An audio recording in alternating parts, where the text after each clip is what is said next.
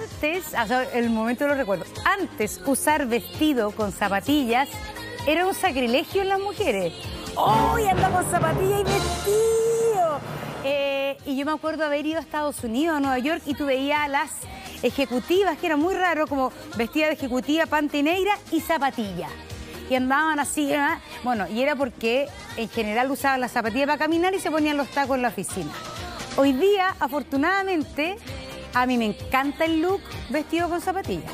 Encuentro que se ve increíble, pero lo loco como te va cambiando porque antes de verdad usar un vestido con zapatillas era ya pero lo peor.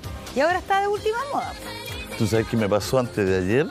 De miércoles no, que fue una cuestión increíble. Fui a una reunión po, con una ejecutiva de una, una tienda que iba a abrir. Una. ya. Y llegó a la reunión así eh, y con taco alto y me llamó mucho la atención. Ya. Taco bien, pero súper formal. Bueno, ya después conversamos y ya nos relajamos, ya. Te sacó el zapato. No, no. Y cuando se iba me dijo, perdón, es que ahora ya me voy a. Tengo, tengo que ir a hacer unas cosas personales, todo. Me dijo, y me voy a sacar los, Los tacos. los tacos. Estaba- estaba- y de repente sacó de su cartera una zapatilla. Total. Se sacó los tacos, pum, pum, y se fue de zapatilla. Claro. Ah, Llegó así. esto- buenísimo. Claro. A mí me encanta ese look. Bueno, yo lo uso todo el verano. Yo, yo uso el verano siempre vestido con zapatillas. Eh, yo uso, mira, les puedo mostrar mis looks que usé en mis vacaciones recientes, zapatillas y, pero les puedo, les puedo mo- poner el, de- no, tengo una foto ahí, en, si- no, ¿te acuerdas que me quince la pata? Sí, po. Anduve en silla de rueda tres días. Anduve en silla de rueda. Les voy a buscar la foto. Carlito me llevó en silla de rueda en, eh, porque yo fui a... Y andaban paseando en Ciudad Sí, no, y un, un día, es verdad, era una silla de ruedas en el museo que te da la silla de rueda que es burrito y silla de rueda. Entonces ya estaba mejor, pero me dieron, había una fila súper grande. O sea, andaba en burrito. y me- es que una silla de rueda que es burrito también, que me la dieron en el museo. En la Bienal de Arte de Venecia, que fui tres días seguidos a ver la Bienal. Entonces andaba con mí y a veces burrito y a veces silla de ruedas y cuando ya me daban la preferencia me daba vergüenza igual. Entonces cuando me, estaba en la silla de ruedas me daban la preferencia, no me atrevías a, pararme en todo el rato.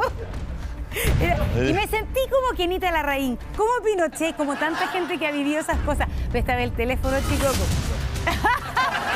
Oye, mago, si no es la Monse y el mago que se equivoca, hombre.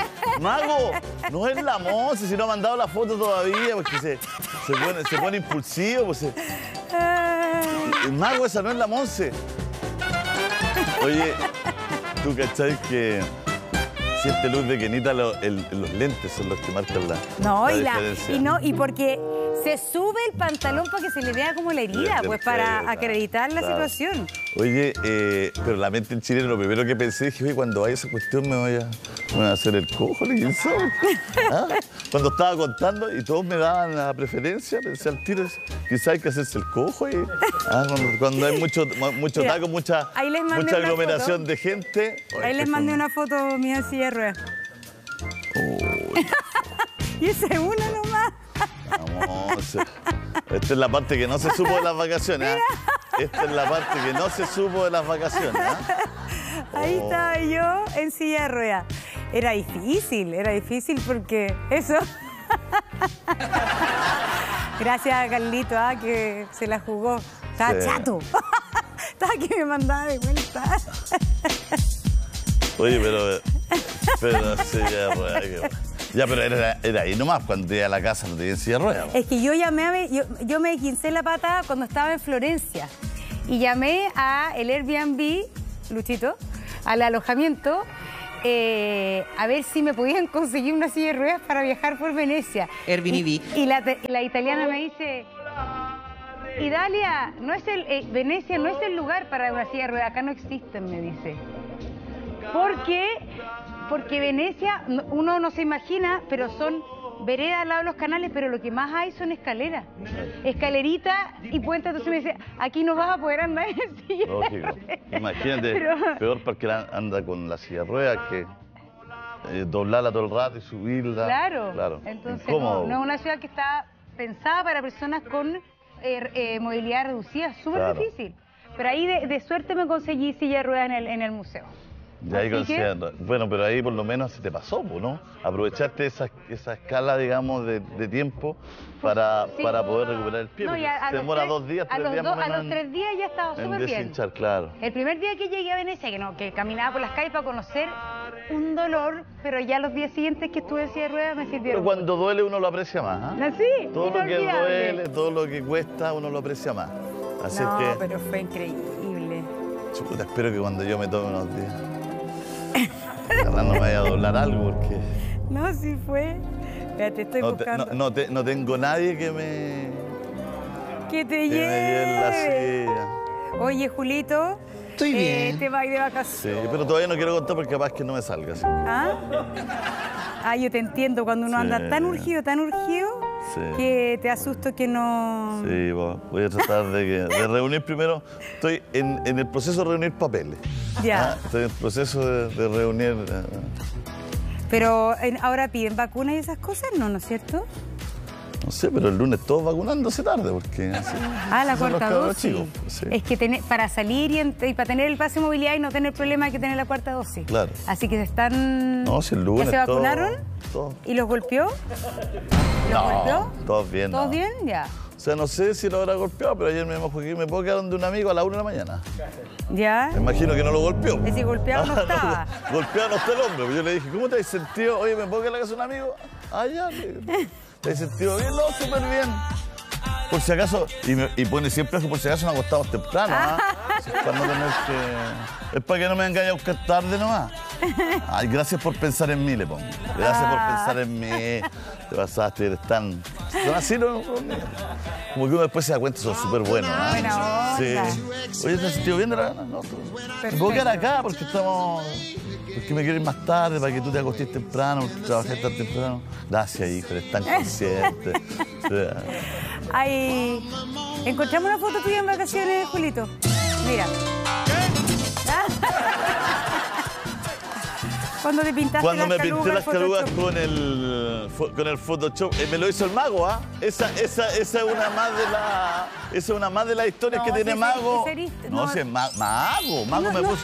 Mago me puso la cabeza todo y todo ¿No el eres mundo. así? No, pues Mago. Pero si tampoco está tan musculoso. Pero si Mago me pone la cabeza encima, no sé si esta cuestión, esto ya, espero que no crean que Chicoco es lo que, mo- a la persona que mostramos ahora, No, pero yo encuentro que ese, este, yo me imaginaría que tú eres así, si no tienes tantas calugas. Es No, como es normal, Eso, eso era en otros tiempos, no hacía el matinal. es un cuerpo normal. En ese- me acuerdo que en ese tiempo tenía una entrenadora, Sofía se llama. ¿Viste? Ese eres tú entonces, ¿verdad que eres tú? Tenía en ese tiempo una, una entrenadora que se llama Sofía, que se llama Sofía, pero que después ya No ella, ella, más. via- ella viajó, Tomó, tomó otros rumbos. ella viajó, ella viajó y era, oye, esa entrenadora era, Titi me preguntó era buena, buena, buena porque aparte de entrenarte, se metía en mi comida. Ay, pensé que aparte de Oh, entrenarte. y tenía un pugilato, tenía un pugilato con la Heidi. Oh, con la Heidi tenían se- Tenían ahí. se- así, oh, porque, porque eh, me hizo- comprar una pesa donde tú pesabas los alimentos. ¡Oh, qué esclavitud! Oh, y la Heidi, ¡Qué esclavitud! la Heidi que está conmigo hace do- 12 años, ¿sí? Heidi decía, esta señorita se mete en todo. ¿Y cómo le va a dar ese pedazo de pollo tan chico? Me decía. Coma más, nomás, coma más. Y de, de ahí le decía, Heidi, usted está dando más, más comida. Ay, la controla, la fiscalizaba. No, y Heidi le yo voy por Heidi. Heidi, yo siempre te voy a apoyar. Heidi era... No, si la Heidi ahí, la reina, no, no se puede llegar y meter a alguien En ese tiempo no, no hacía el matinal parece porque llegaba a la, el llegaba a las 8 y yo estaba durmiendo a veces. Entonces llegaba y empezaba, claro, y empezaba con, ponía música fuerte y decía, llegué, llegué, gritaba, llegué, llegué. Heidi Yo creo que lo mejor es esa gente Déjelo que- dormir un poco más. que tiene, ese- que tiene como un personal trainer y que lo despierta. Yo creo que es la única, esa gente, como que eso a mí me resultaría. Es para que poder a- tener a- a disciplina. mí la única manera que me ha resultado- Pero, no con este horario. A mí la única que me- lo único que me ha resultado es eh, eso, porque ir al gimnasio no iba nunca. Compraba la cuestión, no iba nunca. Yo me estoy ¿no? inscribiendo Hubo un gimnasio que ni siquiera lo conocí. Y todo no. ¿Te acordás no. que te había dicho que iba a hacer siempre abdominales al terminar el programa? Sí. Que me traje una, Sí, una, claro. una cosita, no, duré cuatro días. ¿Viste? Si no, si uno no. si- tiene que tener un profesor.